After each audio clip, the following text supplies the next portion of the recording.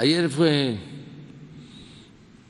un buen día porque se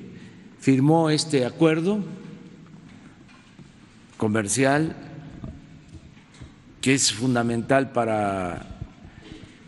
el crecimiento económico del país, no solo beneficia a México, también a Canadá, a Estados Unidos, es un tratado de dimensión mundial que va a atraer mucha inversión eh, de todas partes del mundo, porque eh, se trata de un mercado muy fuerte, eh, es una región muy importante en lo comercial